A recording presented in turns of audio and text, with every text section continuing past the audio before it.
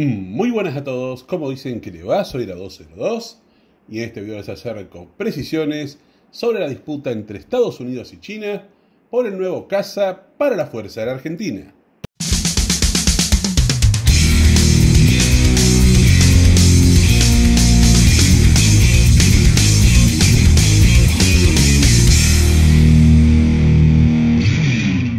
El día de ayer, el medio SCMP publicó una nota sobre la reunión del embajador argentino en China con el ministro de Defensa, Jorge Tayana, en pos de promover la cooperación en materia de defensa con el país asiático.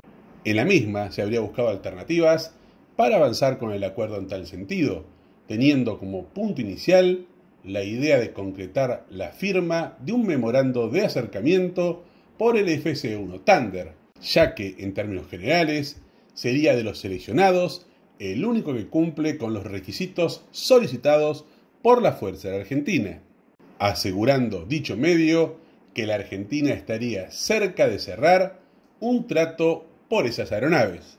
Paralelo a esto, y también el día de ayer, el Ministerio de Defensa se reunió con el embajador de los Estados Unidos en Argentina, el señor Mark R. Stanley, sin que trascendieran en forma oficial mayores detalles.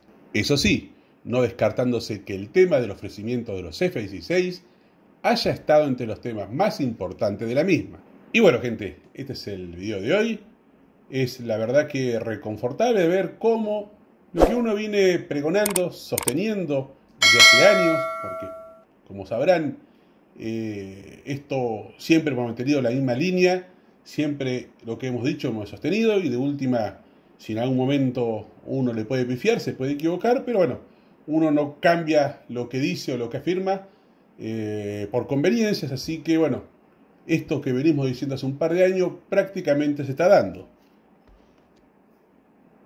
Esta es la forma. Dos potencias que no quieren que la otra tenga mayor injerencia, van por el todo. El todo o nada. Para dotar de un avión caza que tan acuciosamente necesita la fuerza de Argentina. Esperemos que de una vez sepan jugar bien las cartas, ya que con cada charla, con una parte, representará una mejora cuantitativa y cualitativa de la otra. De igual forma, seguir sosteniendo que, aunque el que me gusta es el JF-17, como siempre lo he dicho, a la corta o a la larga, cuando desde el norte no quieran dar margen a duda alguna, caerá la oferta definitiva que será imposible de rechazar, esa que tantas veces le he comentado, ya que ya han dado el primer paso con estas concesiones y precios en la visita anterior. Falta, por lo menos lo que yo pienso, una definitiva que debería incluir una mayor libertad en armamento, así como también una garantía para actualizaciones y versiones más modernas de interés de la fuerza.